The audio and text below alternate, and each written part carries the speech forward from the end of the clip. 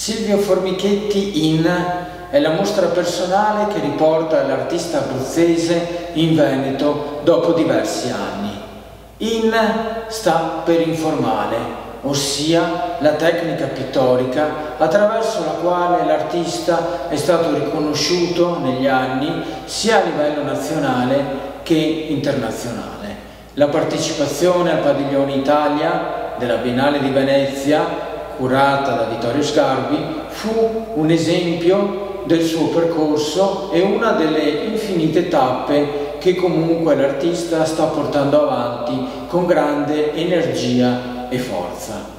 33 opere vi riconducono a quello che fu negli anni 50 quell'atmosfera, quella ricerca dedicata all'arte attraverso la tecnica informale che dagli Stati Uniti, dalla Francia, poi si propagò in tutto il mondo.